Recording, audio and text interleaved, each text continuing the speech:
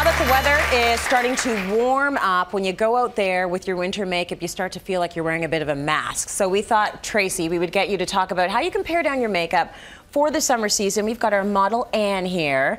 And so you're half in winter gear, what most of us would wear for the winter, which is fairly heavy makeup, mm-hmm, right? Mm -hmm, mm -hmm. Can you just look straight ahead in that camera and we can get a look?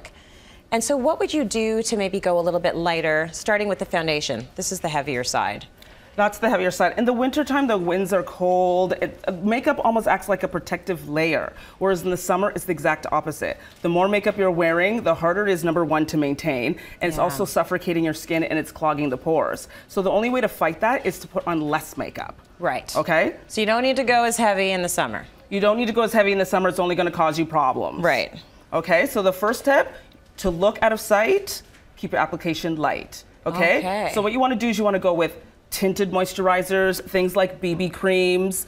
They're meant to, they're formulated so they can go on like a second skin, mm -hmm. really natural looking. So what you want to do is you want to get a foundation brush similar to this and you always want to start on the inside of the face and work your way out and work your way down the neck. So start on the inside of the face and just kind of blend your way out like this. Okay. That's the easiest way to get like a really sheer application. I know you, that people love the BBs because it's almost they're like, very popular. Yeah, it's almost like putting on nothing at all, but you do feel like you have a layer of something, but it's so light. Exactly. And you want to make sure you get your coverage from this, okay? You want to just make sure. And if you have, I know some people are thinking, oh, oh, that's not enough coverage for me. Yeah. If you have things like blemishes or redness in the skin that you want to cover, you want to stipple the brush. You want to take it and you want to pat it like this over certain areas like that and then just blend out the edges you can get coverage with BB creams and tinted moisturizers. Okay, good stuff. So we've done the foundation, you've lightened up. Where do we go next? Okay, tip number two, never let them see you sweat. Use, yeah.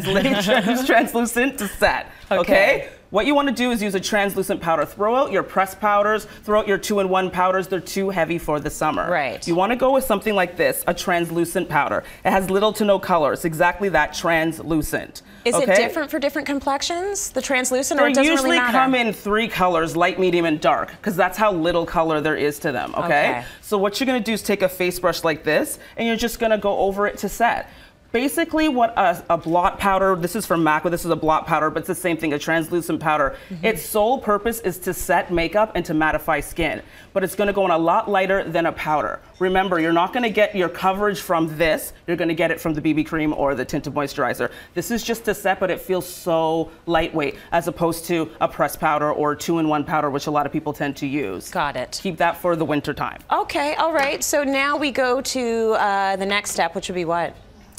Three in one, and then you're done. Three in one and then you're done. Okay. okay. so what is this all going to do? A three in one is uh, eyeshadow, uh -huh. uh, blush, and uh, lip color all mixed in one. NARS has a great one. Theirs called the multiple. Mm -hmm. It's a, it's a three in one altogether. It's a really good way to pare down your makeup for the summer. Okay. Basically, take a brush. You could use her fingers, but I don't think she'd appreciate me using her, my fingers on her today. and basically, you want a one wash of color. It, it's really simple. Just go over the eyes. You always want to start light and then just build. You okay. don't want to put too much on and then have to take it off. That's going to be a problem. Over there, we have multiple colors going on. By the end of a hot day, it's going to kind of look like a kaleidoscope kind of mosaic thing going on. and it's all going to blend together. You want to keep it really simple with one wash of color like this. Okay, so when I look at something like that and I think that's supposed to go on your lips too? It goes on your lips and it goes on your cheeks. You can go in and use that same foundation brush that you use to put your foundation on mm -hmm. and then mm-hmm. just kind of apply it right here to the cheeks as well. Cool. And make sure you concentrate on the apples of the cheeks. The apples of the cheeks is where you would naturally yeah. get sun. It's where you'd naturally be flushed, not on the outside of your face here. Right. So this is where it's going to look most natural. And you just build to your desire. So what's cool about this is that you're also saving money. Like you're if you get a money. three in one and you can use it on everything, yeah, exactly. you're going to save some money. So do we have time, uh, Amber Rose, for one more? Let us know and we'll go for it. Yeah. Next step. Okay. Uh, marker liner. Okay. okay. What happens when we use pencil liners? Pencil liners have products in them that like uh, have an ingredient called kohl. When it's mixed with heat, it smears. You look like a raccoon by the end of the day. Right. What you want to do is you want to go with a marker liner like this. No matter how hot it gets, once this is set, mm -hmm. it's going to it's not going to go anywhere. It's not going to move. Interesting, because I would think that the the uh, you know the marker would be worse than the no. Than once it's set, it stays. It's Whereas a pencil eyeliner, they smear, they move, yeah. they just pick up their bags and travel across your face. and you don't want that. I just got that image in my mind. Yeah, their they- luggage. they're like, "We're gonna go over I'm here." Over here. Yeah, that's All what right, so now we know how to lighten up your makeup for summer. Very nice. Let's go to break. We got more.